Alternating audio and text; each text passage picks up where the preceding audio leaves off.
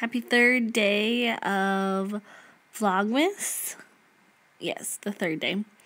Um, here's some pictures of my Christmas tree that we have at home, and then just the snow. We got about six inches today, which makes it for a very white Christmas.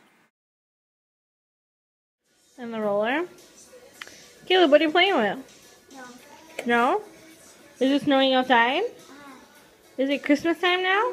Does it taste good? Super. Mmm. Are you building a road? Cool. The body. Sparky, Yeah, he's there. He's the fire truck. He's that one, that fire truck.